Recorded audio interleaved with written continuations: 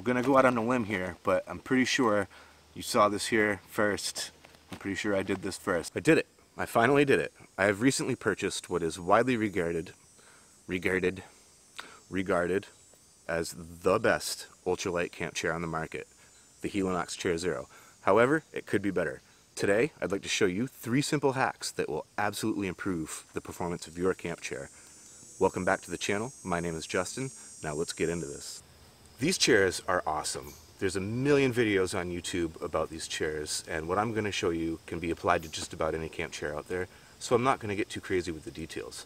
What I will say is that at just over a pound, these are the lightest chairs on the market of their kind. And they pack down quite small, not much bigger than those one liter water bottles that we all carry. The chair sits eight and a half inches off of the ground and can support up to 265 pounds. Those are impressive numbers, no doubt, but those numbers come at a premium, currently $119.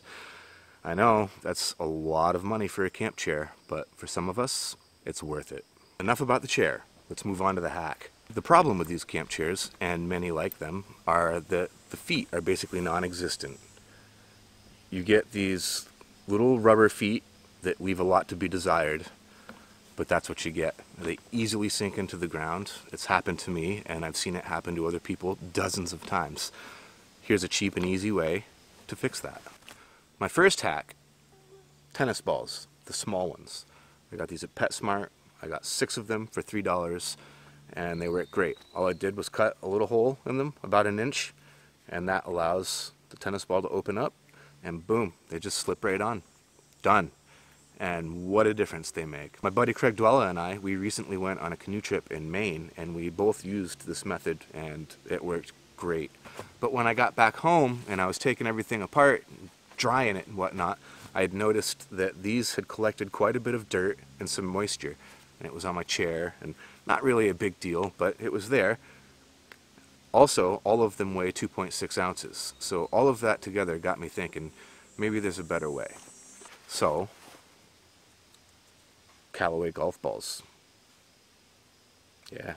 I purchased 20 of these for $5 and to make them work was a little bit more complicated than what it was with the tennis balls, but it was still very easy. I just simply marked out an X on the center at the top, used a Dremel tool with a small cutoff wheel and made the cuts. It was real quick, real easy. They just slip right on to the feet, they hold securely, and they're not coming off. All four of these weigh 0.6 ounces and they're hard so they're not going to absorb any water. So all of that is a win in my book and I think it's a better method honestly than the tennis balls. And the third hack that I stumbled across is my favorite one. Now this is one that I've been thinking about for a long time, wondering how it is that I could do it and finally I just decided to try it. And it's just a scrap piece of tarp with some Gorilla Tape. It's a little bathtub floor the dimensions are just so that the chair just fits right into it. It snaps into place with a pressure fit and it just stays there. No straps, no buttons, no nothing.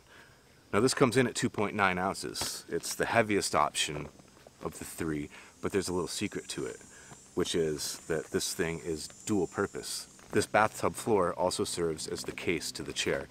Everything worked out just right, and when the chair is all broken down and rolled up, it fits right inside this, and I just roll it up, Bam, good to go.